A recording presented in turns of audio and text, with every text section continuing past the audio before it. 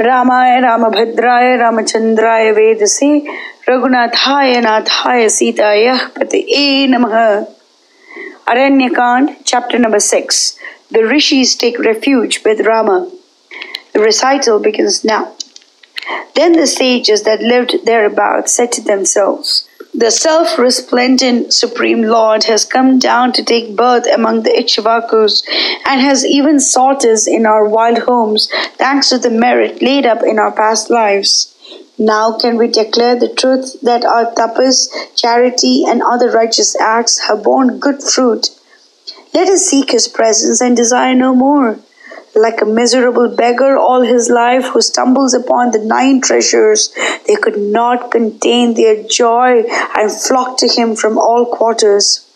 Vaikanasas that were born from the nails of the Lord, Valakilyas that sprang from his tail, Samprakshalas that ever cleanse their bodies with water, Marichipas that drink of the rays of the sun and the moon, Asmakutas who strike their bodies with hard slabs, hermits that live upon leaves, and recluses that eat of grains of corn which their teeth help them to hull, hastened along with others who ever stand up to their necks in water.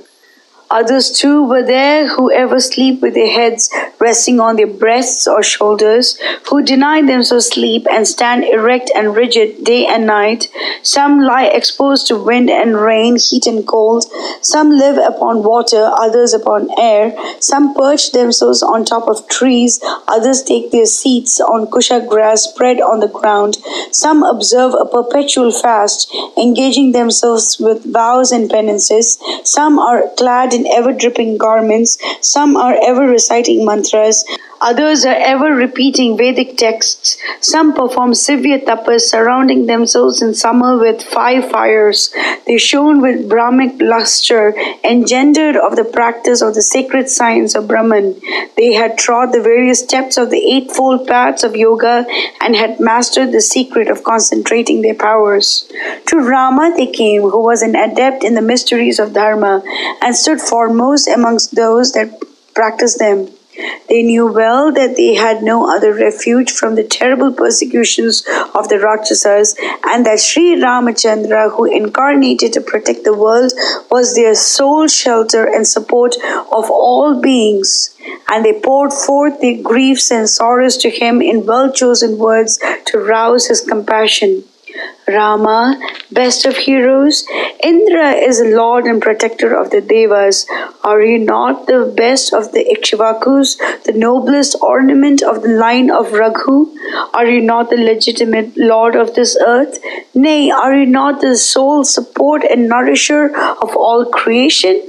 You have secured unparalleled fame as a hero through all the worlds, as the destroyer of Viradha and the giver of immortal life to Sharabhanga, the ruler of infinite worlds. Yet you have chosen to be born as a Kshatriya and live the dharma of one. In you reside the noble qualities of filial devotion, in that you renounce the crown that your father gave you of his own accord. Truth, in that you held your promise and would not listen to the piteous appeals of Bharata, and companionship of the good and holy, in that you raised Sharbhanga to the immortal worlds. You are the soul of virtue. You know best the dharma of protecting those that take refuge in you. You practice it to the full. All beings are drawn to you by an irresistible charm. We are here to beg of you a favor and submit it as best as we could. Forgive us this indiscretion. Our purpose would be served best by simply taking refuge in your mercy. The wise have it that it is enough if the suppliants betake themselves to the presence of great ones. Well do we know the rule that your children need not pray anything of you, but should rest content in the assurance of your omniscience, compassion, and omnipotence. You have come down to save the world, and we are well aware of it. But our miseries goad us on to voice it forth like men of the world, and we pray you forgive us this lapse. It comes to you as a natural duty to secure peace and happiness to the inhabitants of your kingdom. A load of sin rests on his shoulders, takes from his subjects one sixth of their belongings, but protects them not as the very children of his loins. Boundless fame to the end of time crowns him who seeks the welfare of his people with unflagging care and zeal, as he would of his life and of his children, dearer to him than his own life. The world of Brahma and a warm welcome from its Lord await him after death. But we hermits and recluses pay you no tribute, then it serves no purpose to exert yourself on our behalf. Nay, not so, for the righteous king secures to himself a fourth of the supreme merit laid up by the hermit through his strict diet and stricter tapas. You stand unique among the rulers of the world and work for the welfare of your subjects with utter unselfishness. To take refuge in you is the best passport to your heart. The hermits hereabouts are mostly Brahmanas, and you are their legitimate king and protector. Yet they are destroyed by the Rakshasas like helpless waves.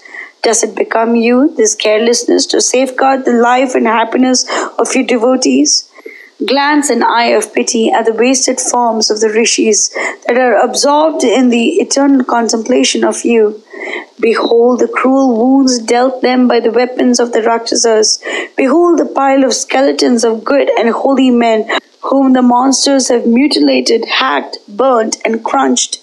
The miseries of the rishis that dwell on the banks of the Pampa and the Mandakini and about Chitrakuta defy description. You cannot ask us to go on with our tapas, bestowing no thought upon our bodies, for our prayer has no reference to the dangers that befall our vehicles of flesh. Rather than utter injustice of our being a silent witness to the heinous offenses and persecutions of the Rakshasas towards the great holy ones. We take refuge in you in that you are endowed with the might to protect all the worlds Save us, whose only consolation during our sufferings at the time of the Rakshasas was that you would, at no distant time, come down on earth. Countless worlds hold for us no other shelter, no other refuge but your noble self. Here and hereafter we know no other good. And to them replied Rama, Nay, it becomes you not to speak so.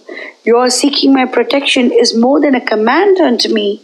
It is all unnecessary for you to ask me to save you. It is unmeet of you.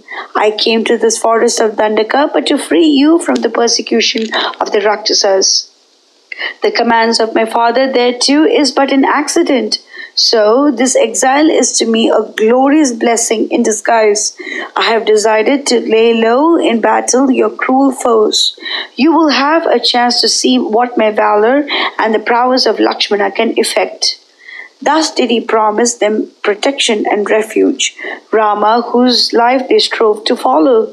Then he proceeded to the ashrama Sutikshna with his brother and wife, his heart ever centered on the highest dharma, and the holy ones kept him company. Mangalam कौशलेन्द्राय महनीय गुणाब्दे Chakraborty धनुर्जाय सर्वभौमाय Mangalam